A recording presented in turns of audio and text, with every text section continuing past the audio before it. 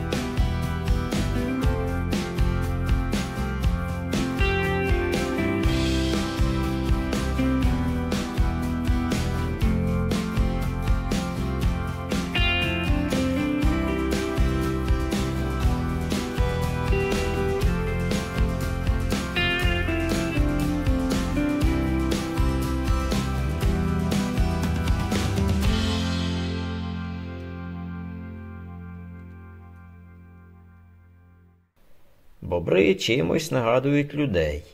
Вони невтомно підлаштовують довкілля до своїх потреб, будують нори, хатки, канали, греблі. Ці тварини, як і ми, здатні регулювати течію, тримати постійний рівень води. Їх називають екосистемними інженерами. Ці трудівники забезпечують комфортні умови життя і собі, і багатьом своїм сусідам.